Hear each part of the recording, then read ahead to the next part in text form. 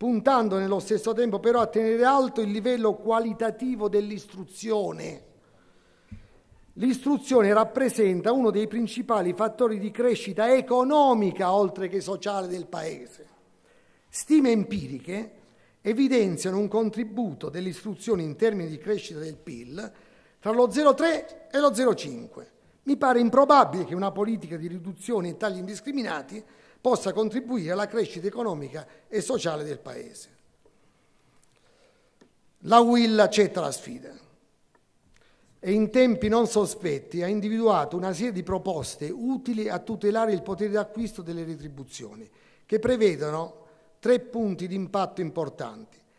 Una riduzione significativa della pressione fiscale, con l'estensione ai lavoratori del pubblico impiego delle misure di detassazione sul salario accessorio, un aumento delle detrazioni fiscali, ovviamente ai lavoratori dipendenti, se no facciamo l'imbroglio della volta scorsa, e una lotta seria ed immediata all'evasione fiscale.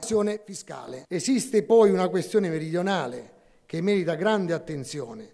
La crescita del Paese in termini di aumento della ricchezza nazionale non può che passare attraverso la crescita economica delle regioni del sud, è importante.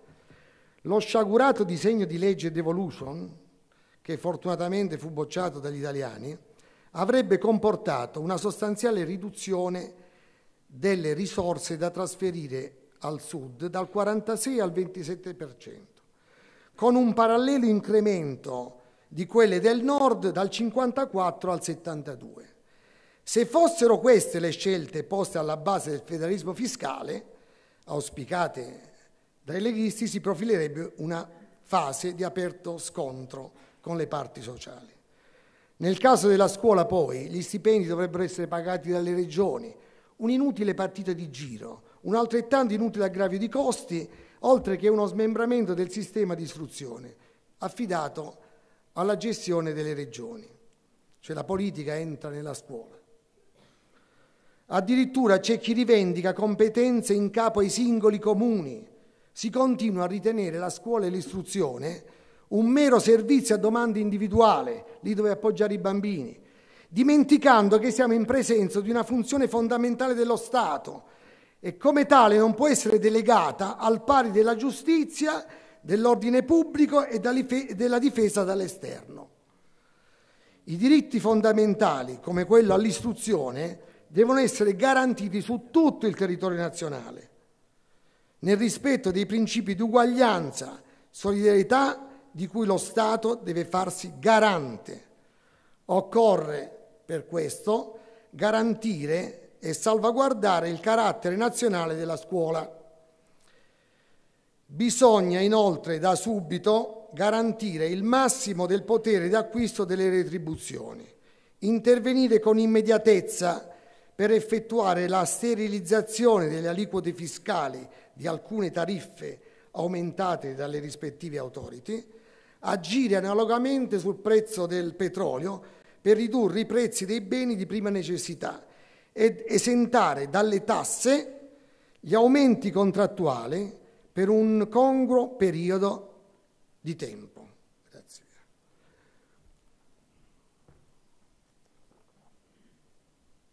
Così si stimola la domanda interna di consumi. Quindi è un fatto che avvia una fase economica importante. A tal riguardo si segnala la necessità di rilanciare una nuova politica dei redditi da concertare con le parti sociali. L'occasione costituita dal rinnovo del contratto di lavoro dei lavoratori della scuola non deve essere l'ennesima occasione perduta per riequilibrare il livello delle retribuzioni.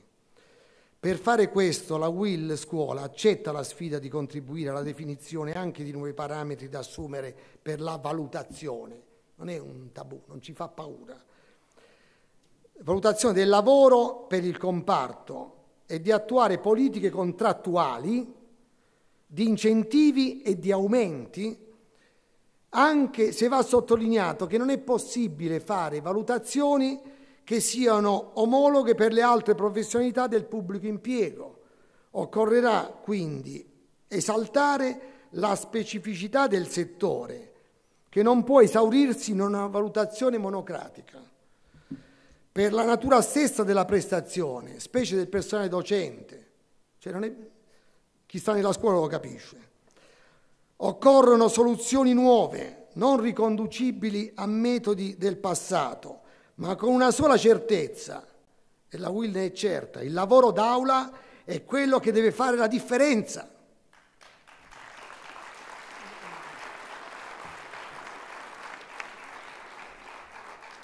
Progetti e progettifici hanno mostrato la loro inconsistenza e molte volte hanno incentivato le attività fuori dalle attività di insegnamento, senza o con scarsa ricaduta sulla preparazione degli alunni.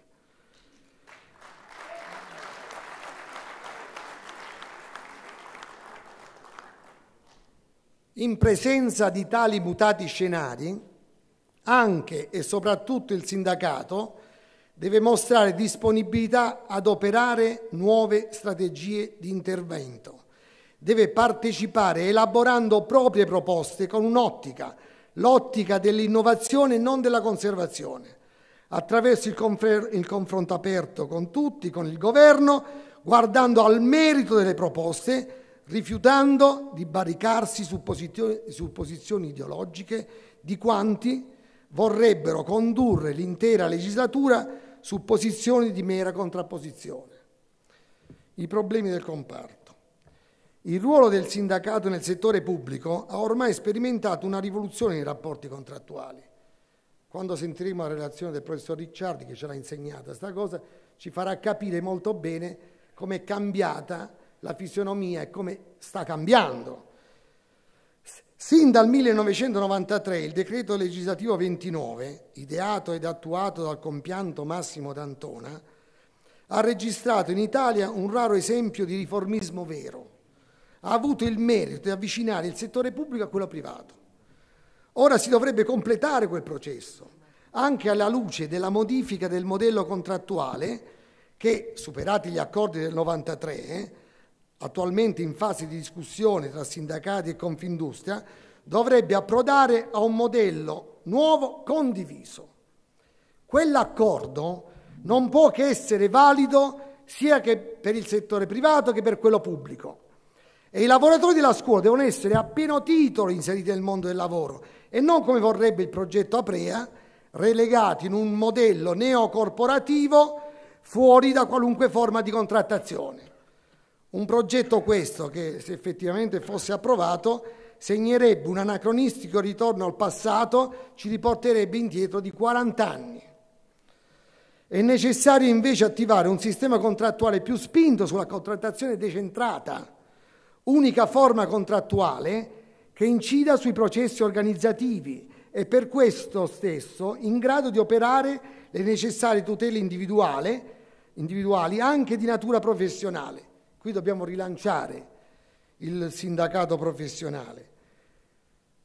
Con la contrattazione decentrata si incrementa anche la produttività del sistema, ovviamente occorrono risorse economiche aggiuntive che puntino anche a premiare il merito. Il contratto collettivo nazionale di lavoro, insieme ad una politica di defiscalizzazione da, di parte della retribuzione, dovrà invece essere finalizzato alla difesa del potere d'acquisto delle retribuzioni, che abbiamo detto sono erose giorno per giorno. Sui processi di riforma il metodo della concertazione rappresenta l'unico modo per governare nel rispetto dei ruoli il necessario cambiamento che può avere effetti positivi Solo se il personale si sentirà coinvolto e e condividerà quel processo di innovazione, non certo se sarà destinatario di un decreto legge che gli sconvolge l'organizzazione del lavoro come si vorrebbe fare per, con la reintroduzione del maestro unico nella scuola primaria.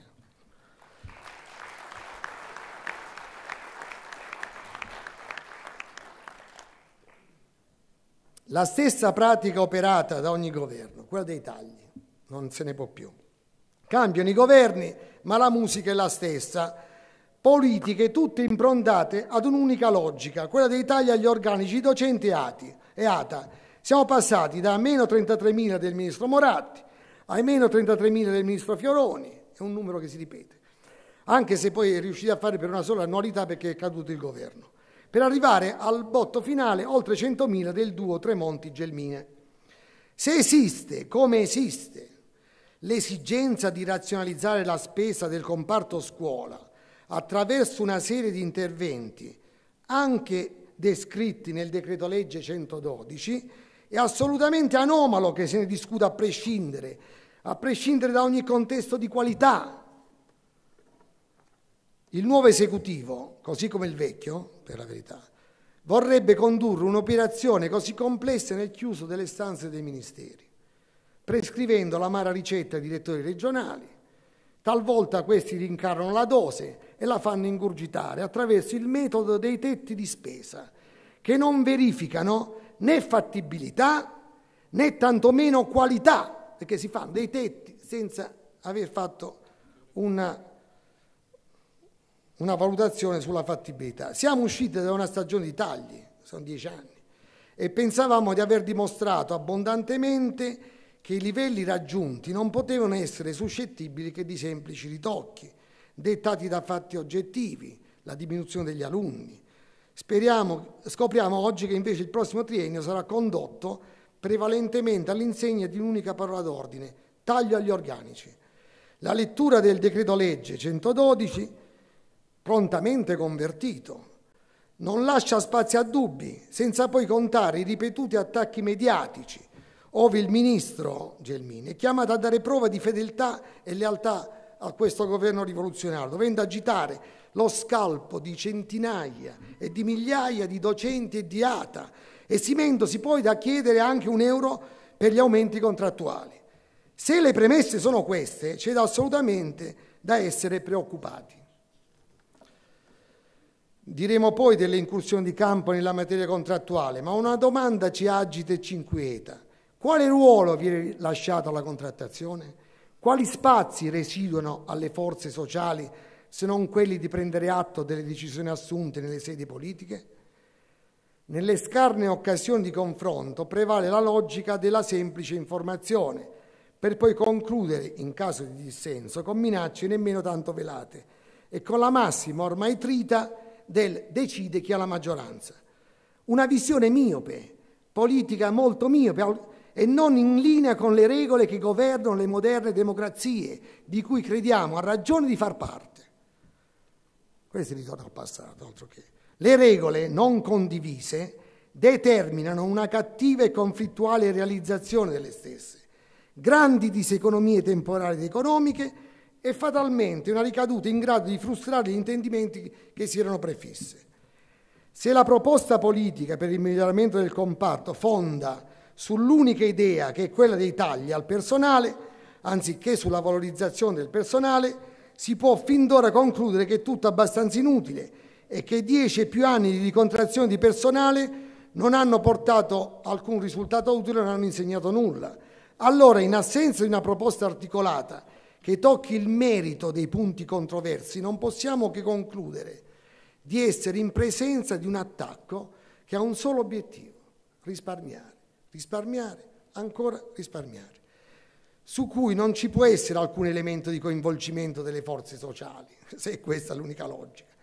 Si profila un triennio tutto teso a confutare tabelle dimagranti che il Ministero digirerà ai direttori generali, se questa è la linea politica del governo rivoluzionario incentrato sull'asse di ferro Berlusconi, Tremonti, Bossi, non ci resta che iniziare da subito a mettere in campo i giusti rimedi.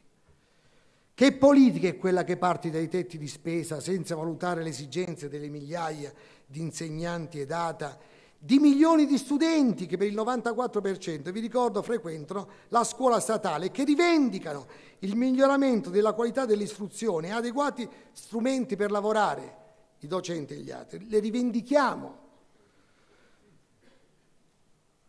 Aspirano a vedere catalogata i lavoratori della scuola l'istruzione tra i settori produttivi del Paese, in grado di sollevarlo dalla stagnazione attuale non assisteremo impotenti agli ulteriori errori del passato che hanno condannato non solo la scuola italiana, ma l'intera società ad una lunga fase di declino da cui non si travede la via d'uscita.